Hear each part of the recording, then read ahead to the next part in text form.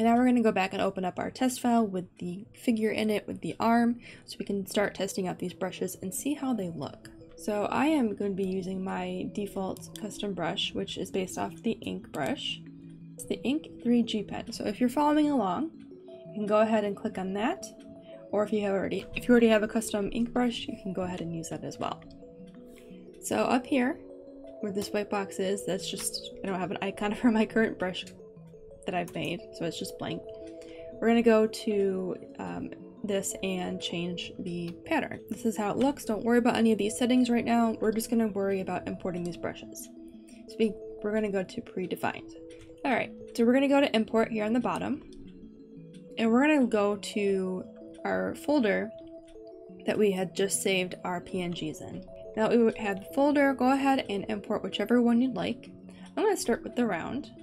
And as you can see, it hasn't changed the pattern. Right now it's on the old one and that's because we haven't picked it yet. So go back up to your brush settings and go all the way down here and we can find the circle. And as you can see in the preview, it has completely changed. Now the spacing isn't perfect, so we need to fix this. There are two things you can do. You can um, increase the spacing so that there is no uh, overlap, or if you'd like an easier effect on yourself, you can decrease the spacing so there's just enough overlap it looks like they're linking together, like that. Another thing I'm going to do is turn off the size. Because chain links, they're not really any different in size. And this definitely decreased the spacing in between, so I'm going to actually increase that a little bit.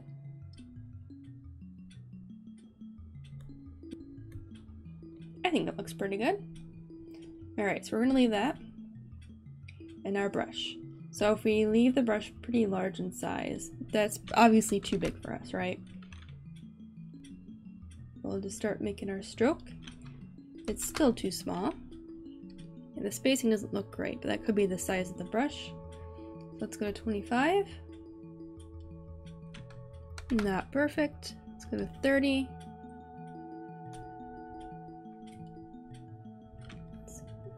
Think that's actually a good size, but I don't like the spacing, so we're going to actually reduce that spacing a little more. We're going to go back to 2.5. So at this point, you're just kind of tweaking the settings to get a, a good starting point for your uh, brush pattern. So go ahead and play with the settings a little bit till you get to a spot that you want, and I will see you in a few minutes.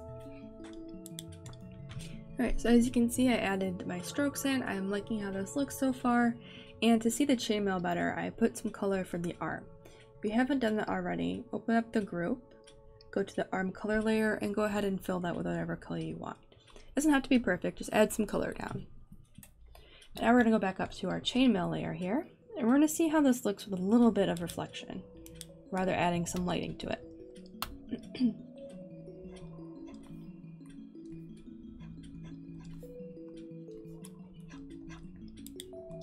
We're just going to blend that together.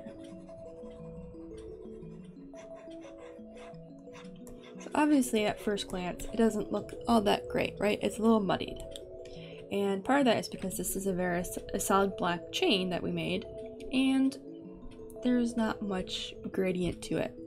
We're going to go ahead and open up our chainmail uh, brush file and we're going to add a little bit of reflection to this. So we're going to add some white here and then we're going to add a little bit of some grays just to give it some depth. Actually, we don't want pure white either. And light gray. Remember, white is an alpha, which means it won't show up. And then we can just blur this. Alright, so that looks pretty decent for our Gaussian blur. And we are going to save this now oops, as a PNG. We need to turn our image properties, our background opacity down. And before we save it as a PNG, we would like to save this as a create a file, so we're just go ahead and save, and then save as to the PNG. Alright, and just as we did before, we're going to set up our brush with that new um, pattern that we just made under the brush settings, importing that, and making sure it's selected. So I'm going to close that, make a new layer. Alright, so as you can see, you can zoom in here, got a little bit of depth going on. It's not perfect. We can actually just go in the regular brush and start refining some of this, right? Just down the middle here. Now, if you want to make these chains thicker, you can. This is the point where we're just kind of testing it out and revising it based on what we're seeing here. And you can even duplicate the layer to make it darker. You can overlay it, you can multiply it, um, you can do some crazy stuff with the layer settings. and that's how you can do it for this brush here. Now obviously we got two more options to do, so we're going to go over those really quick with the same method that we did before. So go ahead and import those. You can actually import one after the other. Make sure our size is off. Okay, so once we have our brush pattern loaded in for either the vertical or the horizontal, this should work either way. We're going to want to go to our general over here and look at the rotation. What we want to do is make sure that when we make one stroke, that this reverse is going to make the second stroke. We're going to do that by the drawing angle. So this is the graph here that will work for us. It should be able to work either way. This is what I have. So if we test this out, you can see that it makes pretty nice stroke here. Should move this up. Down all the way. Okay. Pretty good. A little bit of lag on my end, that's just me, but that looks pretty good. So now we're going to use this brush for our chainmail. So we're going to make a stroke this way and this way.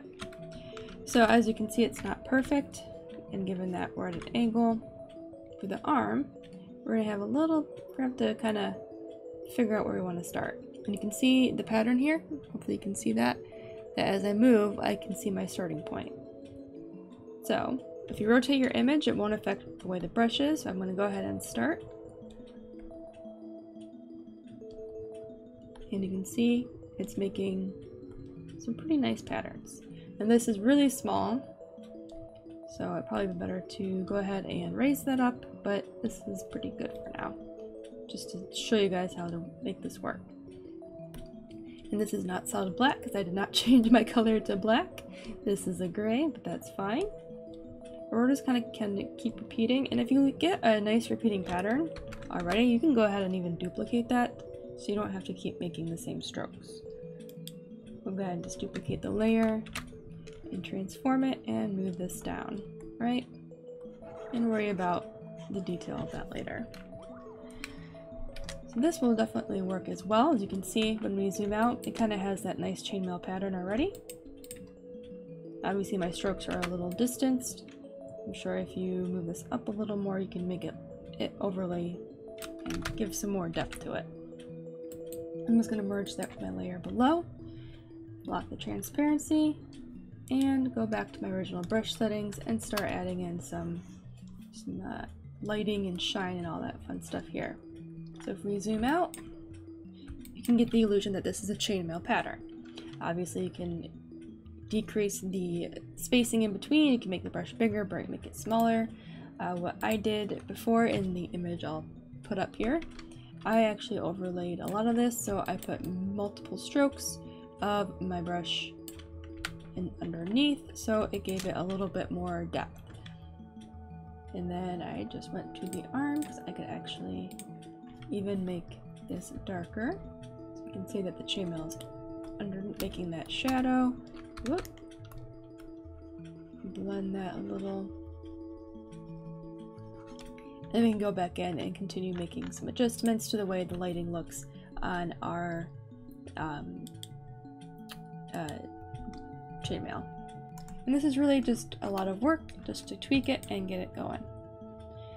So that's two ways we can make our chainmail brush.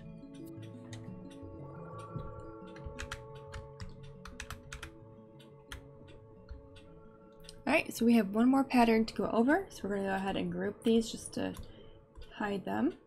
Turn the eye off, minimize that, and go back up to our brush settings.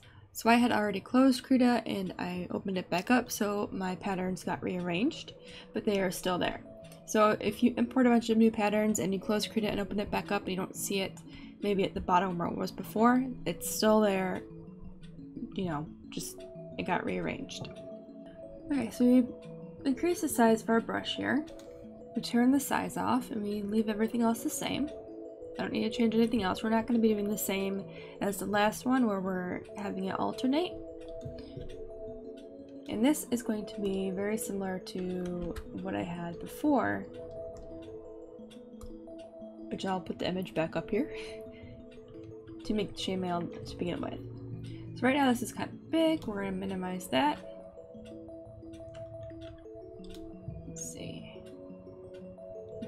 Good. So that spacing is a little too big. So we are, alright, so we fix the spacing. So now, since we have our color back to all black, I'm to rotate this just a smidge and start making my strokes and seeing how this looks. Back, we got that A couple some strokes. I have two layers here. I have my first layer, which is the initial strokes, and I have the additional layer on top just to give it a little bit more depth. So if we zoom out here, this has a nice chainmail type scaly metal effect already on the arm. Obviously, we need to go in and work the lighting and everything better. This is all just a quick breakdown, and we'll go over adding more detail and refining our patterns and the final look in the next video. But so far, as you can see, this is a pretty good start what we need to do.